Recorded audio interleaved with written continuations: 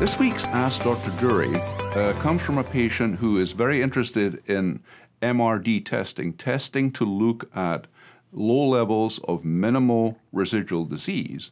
And the question is are the two tests, mass spectrometry in a blood sample and next generation flow, uh, mostly in the bone marrow, uh, normally in the bone marrow, are, are both of those kinds of testing uh, valuable? This is a very, very interesting point, uh, which was evaluated uh, as part of a presentation at the ASH uh, meeting in December uh, 2022 in New Orleans. Uh, the results from a Spanish GEM trial were presented by Noemi Puig, who looked at the combination of mass spectrometry testing and next generation flow testing in these particular Spanish patients.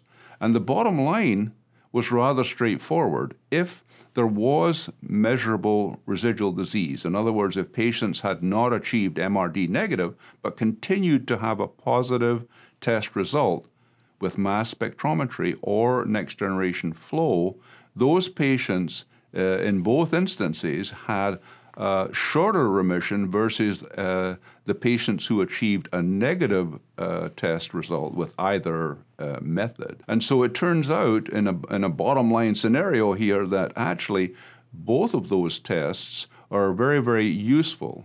And so since mass spectrometry is a test performed in the blood, this can be uh, used as kind of a screening method, uh, and so obviously, if it's if it's positive, uh, then that is very helpful. If it's negative, then this could indicate a need uh, to go ahead and do that bone marrow testing to see uh, if any residual disease can be found. But really, complementary testing, uh, which in this study gave very, very similar results in terms of the ability to predict uh, a shorter or a longer remission.